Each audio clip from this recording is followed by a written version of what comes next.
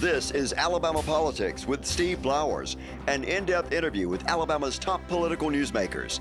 Now, from the studios of Troy University, here is Steve Flowers.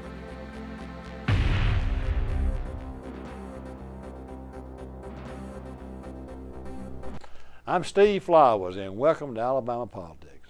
Folks, we have as my guest tonight one of my favorite young politicos in the state. Uh, he is an outstanding state senator. I've known him for years. He's still in his 40s. He's still a young man, and uh, he's been around politics 20 years, probably been around politics all of his life. Uh, those of you in the viewing audience from Troy uh, know Senator Cam Ward. He was a president of the SGA at, the, at Troy University when I was a state legislator. I've known him that long. Cam Ward is a great uh, leader in the state senate. He's been uh, head of the uh, prison uh, reform efforts in the state for almost a decade now. He served eight years in the House and now in his ninth year in the state senate. And he represents his home area of around Alabaster and Shelby County. And uh, we thank Cam for being with us today. Cam's also a candidate for the state Supreme Court. Cam, good to have you on the show. Thanks for having me, Steve. Good to be back with you, buddy. I've known Cam Ward since he was a young president of the SGA at Troy University. You grew, see, you know, the thing about it is, people, not many folks in Shelby County were born and raised there. But No, you were born I- and raised there. I, I was about about about seventy five percent of everybody in Shelby County was never raised there. But you know what? It's a great place to live. I represent Shelby, Bibb, and Chilton County. Great place to live at. it's a conservative area. Ve- Well, it's eighty two percent Trump country, so yeah, it's very conservative. It's a Republican district if there ever was one. Yes, it is. Yes. You've always been a Republican, though, hadn't you? You never. Oh yeah, no, I've been a Republican all my life, and uh, I got reelected this last time in my district with seventy seven percent of the vote in my general election. So it was a, it was a good election. Cam, you were young when you went to the House. How old were you? Uh, I was thirty. That's how old I yeah, I was. was 30. Uh-huh. Yeah, so I started young, and Uh-huh. today I'm 48. Although it, when you serve in the legislature, like you know, it's like dog years. I actually may be 117 years old, but it's okay. You know the thing about the legislature. When I left in '98, I've been there 16 years, and left voluntarily. Nobody ever beat me. But uh, the best thing about it is people ask, me, "What do you?" It's the friendships you make. It's a lot of fellowship. You know, a lot of people want to criticize and talk about the legislature, and you know, you get 140 of us, Uh-huh. and you're gonna get one or two bad apples that, that stain the rest. But at the end Uh-huh. of the day, the friendships and camaraderie you make, as well as how do you get bills passed, which means you got to have relationships to Uh, build you with other do. people. Yeah, and so far, uh, I've been, I really have enjoyed that. There's some great people I've had. Jabo Waggoner, I was I just talk about. Jabo's a mentor of mine. Yeah, folks like that. So that's that's the kind of stuff that's really uh, helped me in my career. You know, Jabo's got his own little private Civitan club. Yeah. I'm a member of it. Oh, really? I go to the Vestavia Civitan Club every third Friday, and, and uh, it's, it's his own little club, and we get the best guests as you can imagine. We only meet once a month. Yeah. When he asked me to join, I said, "Well, Jabo, I'll be in that club. I ain't gonna sell fruitcakes on the corner and stuff like like Civitans do. You know, I ain't gonna go into. No, I ain't gonna run around Vestavia yeah. selling fruitcakes to people. uh, You know, you don't do that. But he has like, uh, you know, he's real big in the Sports Hall of Fame, and he has Doug Hallman and His all the ba- basketball career. I Yeah, mean, he's- got a great career. you know, he and uh, he and Jim Carns are the same age. Carns is close to Jabo's age. I've been blessed though to have some of those guys as my mentors. Oh, the they years. love you, yeah. Well, but they're great to work with, though. I mean, you Uh-huh. it's a lot of institutional knowledge. You talk about this a lot on your show and Uh-huh. your columns, where we have that institutional knowledge. You learn so much from people that have been around for so long. Jabo and Shelby are two of my favorites in the whole world. Two but good they, guys. But, but they both leaders. I, I mean, Shep, but they getting some age on them. Shelby's 85 and Jabo's 81. Well. So, but you know, you can tell your grandchildren about them. Well, they're great. They're just great friends. You Uh-huh. know, and, and sometimes we get caught up in politics. We forget about our friendships. You know, Jabo and Carns were good athletes in high school. Oh yeah, Carns both was of a running were. back at Woodlawn High School. I mean, if you look at the political leaders over time, excluding me, um, I don't have a great athletic career. But you look at Fob James, Yeah. been a running back at Auburn. Uh-huh. You look at Jabo, his basketball career. Jim Carr. I mean, you see these folks, and that's a lot of the ways they built their career. Kim, you know uh, what I talking about football. That, that Thompson team's got to be really good, hadn't it? Thompson's great. I live two blocks away from there. Do, I wonder if you didn't live I close live to two. that. I live two. You were born and raised in Alabaster. No, I was not. No, no, I was a late. I was a late bloomer there. Okay. But I, I'm there. Uh, I've been there, of course, for a few decades. But I will tell you this: my daughter goes to Thompson High School, and, and I've been to a couple of the guys. I was there when they dedicated the new field. Thompson High School is just setting it on fire, and it's, Uh-huh. It's are. changed everything. The way it has, the community's grown and rallied behind that Uh-huh. team. Yeah, they're doing a great job. There's something similar to that going on here in Montgomery with Pike Road. Yeah, They've got, they say people who don't have children or anything are going out there to those games. That's impressive. That will instill a winning tradition. It does, and it changes the community. I mean, Yeah. people really want to rally behind the community when they see that kind of spirit. Yeah. Thompson beats Hoover, don't they? Thompson beat Hoover, and they lost the Hewitt Trussville this past week. I saw that. But but I'll tell you, overall, yeah, they're, they're going to be in the playoffs. They'll be a contender again this year. So you go out there and watch them. Oh yeah, but Two they're great. Yeah, but, but it's great. But it's Uh-huh. fantastic, and the, and the spirit. You have a lot of folks that go out there has nobody playing in the game. They just want to go That's be part I've of the heard. community. Yeah.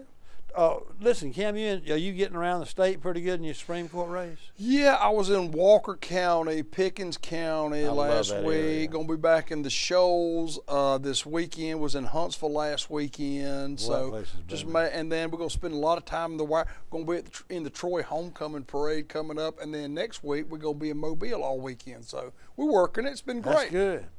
That's good. The Supreme Court's a good place for you. You know, there hadn't been many folks gone from the state senate to the Supreme Court. No, Not uh, directly, have they? n- Not directly. Probably, um, actually, in the last century, probably hadn't had hardly anybody. Uh, I would say it's it's a good fit for me. I think I'm fair. It's chairman judiciary, which I've been doing. That's for right. You've been years, chairman judiciary. for nine years, and and I've enjoyed that role. But I think Uh-huh. as being a chairman, I've had a chance to legislate and look at the law, and, and be fair to both sides when you when you pass law legislation. Kim, you know, uh, talking about that, uh, you will be invaluable to other members of the Supreme Court. You understand politics better than a lot of them do, but you you will have served in two different branches. Uh, you will have made the laws for 19, 20 years. So they may come to you and say, well, there may be a controversial issue that y'all decide in the Supreme Court. And they may say, well, Cam, what was the intention here? Because that's the purpose of the Supreme Court is interpret what the legislature has intended to do. And a lot of time that gets away from a lot of folks is, uh, you know, the legislature writes the laws, the court interprets the law. Mm-hmm. But around the country, you're seeing a trend where a lot of courts are actually rewriting the law, and you don't want that. But I, I think that's what I would add to the. I would add to the court is that I could be somebody that says this is what the intent was, this is where they were coming from when they did this, and how the budget process works. That's always a big issue for the courts, and I, I think having that background serving on the budget committee and That's judiciary right. chairman, that would add something. They'll have be glad to have you over there. Kim, uh, the one issue that has um, escaped everybody, and um, and, and people, don't, it's not a popular issue, but you got to be your tip of your hat for being involved in it. Is the prison reform issue and the prison overcrowding issue, which is what I wanted to talk with you about because you've taken the lead in that issue from the get go. Uh, and I believe in it. give our give our viewers, if you will, the history of where we got in this predicament. It's been going on for probably two decades now. But now you also are trying to do some prison reform issues to try to cut back on the recidivism and also say if this guy sold a piece of marijuana or something, they shouldn't be incarcerated for 10 years. And, and I think most Yeah. people agree, but that, that, not just that, but tell me the, the, the also the concept of where the governor is going to address it. And I wrote in my column a week or two ago that you and the governor were wise to not try to rush the special session because an old adage that good facts make good decisions. You know, if you get all the facts. But what I got to also tip a hat to you and Governor Ivey for working with the Justice Department and conversely, the Justice Department working with us. Yeah. Y'all are sitting down in the Justice Department is giving y'all a guideline, that if y'all do this, we're okay. Well, see now my That wasn't true with Frank Johnson and George. No, no. And see, my grandma had better at it. She said, you know, you want a good casserole, you got to let it cook for a while. And it's the same idea. And I, I agree with the governor. We, we should take our time on this. A few things. One, this started back Frank Johnson uh, in 1980 when, when they put us in receivership. And what happened was we I could change the dates on that order and the news articles and be the same thing today. We're back in the same spot. So what do we do today to not go back into what happened in 1980? We didn't get out of receivership till 1989. Nine, ten years. I in that. mean, it was a long. We don't want a federal. Did court. Johnson have somebody oversee that? They did. They uh-huh. did. They did. And what you don't want is you don't want the federal court coming in and let, No. letting a lot of people out because the number one role of state government, in my opinion, is public safety. And if we let a bunch of people out of prison, that's the worst thing in the world for They did that in California. They, they did that, and it's terrible, and they still have a mess from it. Uh-huh. So where we are today is we went from 200% capacity in our prisons in 2011. Today we're at around 162%. We What's, made pro- what's the key they want to look at? One thirty well, you, you got to get around 137 percent is what the Supreme Court says. But you don't have to let a bunch of people out to do that. There's ways to get there. So some of the stuff we're working on in the governor's commission on executive um, on uh, criminal justice reform is this: one, you know what the number one thing is to reduce recidivism, the rate that people come back in, giving them a job skill. So why not spend a little bit of money and make these people get a skill so when they get out they get a job? Yeah. You know what? We have programs like welding, HVAC repair, plumbing, bricklayers, electricians, and guess what? Right now our recidivism rate's 31%. The national average is 34%. But if you get a job skill while you're in prison, recidivism drops to 7%. You give someone a job, they don't come back to prison. And guess what? Liberals, conservatives, moderates, everything in between agree on one thing. What do you want when somebody comes out? I want them to get a job, I want them to pay their taxes, and I don't want them to hurt somebody. Cam, is there still a stigma if a guy does learn welding in prison or, or some skill that folks won't hire him because they're a convict? Yeah, I think that was the case when unemployment was higher, but because of Governor Ivey and, and folks uh, running the economy now, I will say this: I think there's actually because unemployment's so low, there's a people are begging us for job that they need people to hire. And there's not there's not enough folks in the job market. With the low unemployment, I think now's the time to enact some procedures to get these people a job. Who goes into the prisons and trains those people? Is it part of the uh, Greg Canfield's department or is it, is it junior college? Well, I- I'm actually part. I'm actually the president of the of the foundation board for Ingram State Technical College. Uh-huh. Ingram State's sole job is to provide education programming inside the prisons. for all the prisons, Mhm, for out of Ingram. Maybe. That's right. And so what happens is, and, and of course that's Jimmy Baker over at the two-year college system. They're doing a great job. We increased funding by 30% for them this last time, and we're going to keep doing that to provide more of these job. These job training programs are getting people jobs. We're matching working with the private sector to make them go to work. We want everybody to go to work so they don't commit crimes. Did the community college budget itself go up 30%, just that particular No, just that particular line item, which All is, but it's working. It's showing that if you put them in these programs, they don't come back to prison again, and that's what we all want. Now, so, uh, but but the the center for doing it is at is at Ingram, Ingram State, but now they work in colleges around the state. all over yeah, them, yeah. huh? Uh, and they go into prisons and. And they partner up with other junior colleges, yeah. Well, do they do they keep the prisoners in the prison and train them, or they take them out? No, we have training programs in different prisons. Uh, I've just finished touring Holman, Uh-huh. uh, and I've also toured Donaldson. Saint, I've, I've been to every prison in the state, but St. Clair, Donaldson, Holman, and Staton are my biggest ones. And I can tell you, it's working. Those people don't come back if you give them a job skill. Cam, uh, now, from what I gather, uh, and I think you and the governor are together on this, I'm hearing strongly that she was so successful last year in bringing the session, the special session, on an issue like the rebuild Alabama was done within the parameters of the regular session. That's how you do this. Is that kind of what she's looking Yeah, at? but, but and I, I like it because again we go back to the casserole analogy. The one that cooks longer ends up being the best product. Uh-huh. I think we take our time. She, her executive commission is not due to report to January first anyway. We go back into session that first Uh-huh. February. Uh-huh. week of February. So why don't we take our time? But we you, you are going to have to isolate it, in my opinion. I think it's so. up to her, but isolate it. But I think there's a lot of stuff on reentry, prison education, diversion, addiction issues, and mental health. If we address those, man, that's that's going to be that's going to be the big issue for our prisons. But now we're going to have some new prisons, aren't we? You are. Here's why. So Judge Thompson said you got to provide better mental health services. But the problem we have is if tomorrow I went out and hired a thousand new mental health workers for our prisons to comply with Judge Thompson's orders, where would they go? The current facilities won't hold them. There's nowhere to provide these services. If nothing else, you've got to construct these new prisons so you can provide these services that Judge Thompson's ordered. What do you give people like uh, psychiatrists offices in the prison? Well, well, here. So mental health. By the way, the the, the number one mental health treatment uh, organization in the state of Alabama is the prison system. We treat Within more- the system? within the entire state of Alabama versus private sector. The state provides more mental health services because of, of our Well, inmates. like you have psychiatrists or psychologists Yeah. or both. So right now, like under the court order, we have about thirty something percent they say are diagnosed mental health problems. Really, if you look at undiagnosed, we probably have about half our inmates have some sort of mental illness, and you got to treat that. And that's the underlying problem. They have a, they're bipolar schizophrenia, or our veterans coming back from Iraq and Afghanistan have PTSD. So how do you deal with that? You don't have the facilities right now to do that.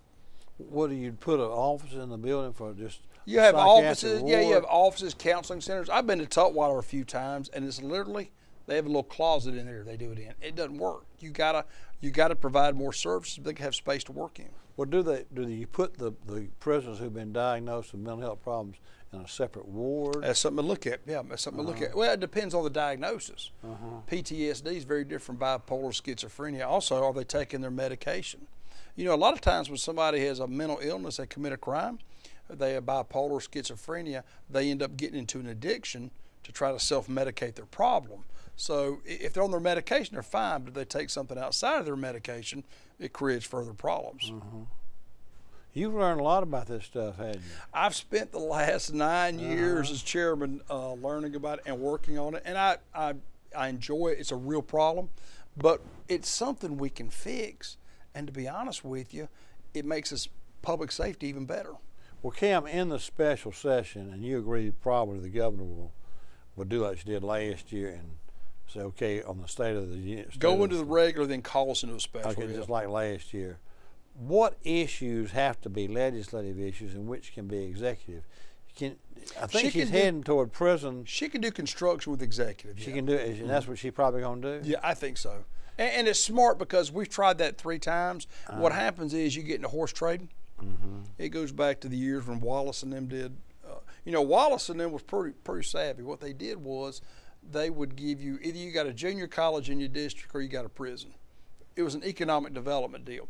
But if you base prison construction on economic development, it's broken. It doesn't work. It just doesn't work. So what you do is she comes in and does it without the legislature. That's where we failed. We had folks. They need to be around urban areas too. yeah, near interstate and also a hospital because you're going to have treatment Uh-huh. care. So, but then again, if you, if you had to do that by legislation, you're gonna have a lot of. We got horse You trading. got one in Bibb County. I got one in Bibb. uh, we got uh, and your people may not get one in well, Bibb well, County. Billy Beasley and uh, His whole that's the biggest employer. he got- he got two of them, and then you got Jimmy Holley's got one. You know, you, all these guys who've been around, they're going, well, I can't lose, particularly rural areas. It's a big economic deal. I so know. I think her doing that by executive order, us doing a legislation dealing with any kind of sentencing reform that's got to occur, Mm-hmm. uh, recidivism reduction, alternative programming, you do that through the legislation. Is she gonna go private? You think? And What she does is no, you know, everybody assumes no. Private prisons, in my opinion, for the most part, do not work. I think what you do is the state needs to run any facilities we build. But I think the way you're, she wants to do it though is doing the lease back. Somebody private builds it, we lease it back and run it, is a much better option. Yeah. It's cheaper for us, and I think it's also much more efficient and gets done quicker. Are other states doing that? Yeah, Pennsylvania's a good case on how that was Uh-huh. done. I think that's the model they're looking at, and it works. Uh huh. Is it that we we lease the building from somebody You, else? you just rent the house instead of own the house. Uh huh. But you run it yourself. You run, it, yeah. There won't be Uh-huh. no private company would run it. The the state would run it. Uh huh. So you wouldn't have any kickback from state employees. They actually No, like it. I think state employees would be fine with it. You wouldn't Uh-huh. change their status, and we got to continue investing more money into hiring more officers and paying them more. You're right about that. If you get that in the legislature, that's going to be a fight because anybody going to want to cut theirs out in their district. Well, what happens is, is I want to fix this, but I want to cut it from this guy over here mine. Uh huh. There's one in St. Clair. And I've tried it three times, and it just it, it, you just can't horse trade enough on it. No. And you actually you can horse trade yourself into a corner and find yourself with the worst situation you have already. It would be Yeah. because that's Barbour County is not the ideal place to put a prison. No, Barbour Bullock just it doesn't Uh-huh. work. You, you need close by highways, you need an urban area, you need hospital facilities. Do you know I was in the legislature when that last thing was done and Wallace was governor, and they did a survey. Uh, we had this big study group, and they came back like experts on where the prisons ought to be. We had the same problem, like you said, the same blueprint. And uh, Wallace was going to build a bunch of new prisons all over the state for political reasons. And uh, they came back and said, Governor, they really ought to be put in urban areas because that's where most of the prisoners come from, Mhm. and their families can come see them, and you can have other things close by. And Wallace said, "Well, that sounds very good, but I think we're probably going to put those prisons in Barbour County if you don't get some mind." votes, gonna get some well, votes that's his home county. Well, it's a home. It's, it's a hard deal. It, it, here's the deal: if you want to make it work, we can't go through that horse trading again because if we do, we're going to be right back where we were the last time we got taken over. he bought a lot of land. That's one of the arguments about when I was there, and they would come to us say we're going to build these prisons in Barbour, Bullock County. Hell, they bought half the county Well, they did to expand for future advancement. You know, And if you need economic development, the idea that government's got to put a bunch of facilities there to increase economic development is bad philosophy, in my opinion. But you know what? That's my philosophy in 2019. May not have been the same thing in uh, 1980 or 81, 82. yeah, you're right. It was like that was that's not the best way to do it. No, it's not. It, long term, it doesn't work. Uh-uh. The growth in the state's going to be up around Huntsville. Yeah, Huntsville's growing big time. They are. It really is. You know, I've I've seen some things, uh, and Senator Shelby shared some things with me that Huntsville, Cam, may very well be not only the fastest growing and most prosperous place in the state and the South, but maybe the nation. Yeah. It could be the it could be the fastest growing, and economically, the jobs there. I spoke to the uh, Huntsville Rotary Club about two or three years ago, two years ago now, and there were three or four hundred men there and women. And I says, "How many of y'all are PhDs?" Half of them raised their hand. Yeah. It was half, and they're nuclear scientists. I mean, the, I mean, rocket scientists, Oh, PhDs yeah. in rocket science. NASA and all the defense contracts. It's yeah. almost like part of the Silicon Valley of, of It- California. it's the Silicon Valley of the South. It really is. Yeah. It's like it's, it's the most amazing thing I've ever seen. Shelby's putting the second largest FBI facility in America in Huntsville. That's what happens when you have seniority in the U.S. Senate. And chairman of the Senate Appropriations Yeah. Committee. And want to exercise your power. And he does a good job of it. he sure does. And you know he's a bright, he's the sharpest 85 year old guy I've ever seen in my life. Oh, Works out sure. every day. And he's, and he's he knows the political system. No question. Sometimes about it. people frown upon that, but I can tell you something. For our state and what he's done, it's helped a lot. You, it's unimaginable. He told me, Cam, and, and, and I guess you voted for the rebuild Alabama. I did, yeah. Yeah, that was good uh, because it, we really need to have something done. There are roads in this state haven't been paved since Big Jim Folsom was governor. But I asked some of those guys in Walker County, like Reed and Scofield over there in the in the Sand Mountain area, they were for the docks being widened more than the Mobile people were, because Scofield said my poultry farmers have got to have that port, and and Reed and them got to have it for coal. Shelby sat there. We had supper one night at Highlands, and we were sitting there talking. And this this just dawned on me. He told me five years ago. He said, "Do you know that port in Mobile cannot ship the Mercedes vehicles? Cannot be shipped through there. Had to be dredged. It's got to be dredged. It's got to be It'll be the big. It'll be the deepest port on the eastern seaboard. And so right now, for example, the Chinese send, and we have one of our largest trading partners is the Chinese. They go in to the west coast. They go in California, and they rail or truck everything back and forth from California to us because our port's not deep enough. That deep port would allow us to ship directly, not only to China but to a, other Asian countries Uh-huh. because and the match that Shelby and Trump are sending to us, this money will help. It's a huge economic. It's over half us. of it. It's a huge economic. It's fifty million dollars. It's economic boon for us. Oh, no question. And people people wise in the state senate and legislature realize that that's not Mobile's port. That's the Oh. state's port. Oh, like he said, you got the coal, you got the Uh-huh. cotton, the peanuts. that go out. Yeah. yeah, it's a great. It's it's going to be a win for all of us. Yeah, it's got, but but Shelby's coming up with a lot of federal money. He has. It's He's done a good state, job. It's not just state money. Yeah. Uh, so it's going to be a heck of a thing for the state. That that's going to be good for the whole state. You've got to have interstates. You've got to have roads too, Oh, you, especially in your area. well, here's All the deal. that growth, You've got to have some. That's a bottleneck you, there. you can't run and, and keep up to date with the widening and the paving in 2019 on the same revenue source you had in 1992. No. People may not like that, but at the end of the day, do you want roads. In Shelby County, let me tell you something. We got to have road widening. We got we got a Y'all got to here. there. It's just we growing so fast. And 280, you ain't got 280, but that's a that's a but- but- nightmare. But if you're gonna pay to fix those roads, you're gonna have to pay for it. It's not free. what is the answer to 280? People in the state look at the 280 like they live. I rather live in Atlanta than The- drive the- that road. yeah, it, the problem with 280 is they have too many government jurisdictions. Between cities and counties, they have like nine different jurisdictions over Uh-huh. 280. So no one jurisdiction gets along with the other. Bob Riley tried this in his administration to do a uh, elevated toll road. Yeah. And they all said, "Oh no, no, we don't want that."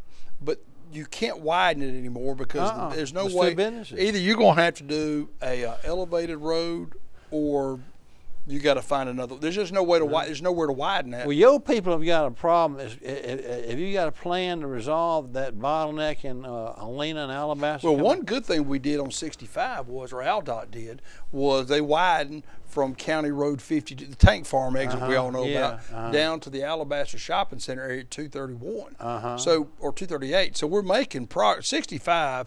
If you can get 65 resolved, that helps so much. Now we still got other roads, and obviously I keep lobbying as hard as I can at AlDOT to make sure they take care of us that. Uh-huh. So si- if you if you do take care of 65, you can take care of some of 65 helps a lot of other areas. Now you Uh-huh. have some county roads in there, but the Rebuild Alabama is already starting to put money in some of those road Uh-huh. projects. You know, one of the best things, oh, uh, Kay did was get Jo Bonner over there. He's fantastic. Let me tell you something. Uh, Jo and I have a unique history in that we both had, we both worked for congressmen at the same time. I worked for Bachus and he worked for Callahan At the same time. same time, and that's Uh-huh. how I got to know Jo. That's how I got to know Steve Pelham. How I got to know uh, Who did Pelham Whalen. work for? Uh, Pelham worked for Everett. Oh, that's But right. we he all- his, but we all- his AA. But we all work together at the Uh-huh. same. That's how we all got to know each other. So it's Uh-huh. a funny small world together. I, I saw Spencer the other day. How's he doing? He's doing great. He's practicing law again, enjoying himself. in Birmingham. Yep, in Birmingham, but he's enjoying himself. He's having Uh-huh. a good time with it. Spencer and I served in the house together. He- He, served a term in the house. You know so that? he served in the Senate first, then went to the House. That's because right. of redistricting. Put Uh-huh. him back in the House before he went to the state school board. Yeah. I always liked old Spencer. He, he's doing well. He's, he's Uh-huh. practicing law and enjoying himself. Uh huh. I liked him. He did, he did a good job in Congress. I worked for him for three years. Uh huh. Right out of law school. Yep. Uh huh. Worked. Uh, take that back. Out of law school now, one of my dear friends who since passed away, I worked for Jim Bennett. I was a deputy AG. I was a deputy attorney general appointed by Pryor. Uh, worked for After Ben- law school. After law school, worked for Bennett for a while. in, And the, in the Secretary of State's office. uh-huh, worked for I worked for the auditor and then the Secretary of State's Uh-huh. office. Worked for Secretary of State's office. You was- live down here and do it. Oh no, I went back and forth to Alabaster. I Uh-huh. tra- I transplanted every day. Uh huh. But you know, I was a pallbearer at Jim Bennett's funeral. Where are you? He was one of my dearest friends. I just He was a quality guy. could not admire anybody more. Quality. You know, guy. one day I asked old Jim. He said he that, that one of the hardest jobs he ever did was manage that office. You know that he was the longest serving Secretary of State in Alabama history. I know it. Because so he served ten years and then had two more after Uh-huh. Bentley had him do the interim. I know it. Well, Cam, our time's up. It goes Thanks by in a hurry, doesn't man. it? It goes by in a hurry, doesn't it? Good to see you, my friend. Thank you, Cam. Thank you. Folks, our guest tonight has been State Senator Cam Ward from Shelby County, who's also a candidate for State Supreme Court. And we thank you viewers for watching. Hope you tune in again next week for Alabama Politics. Thank you very much.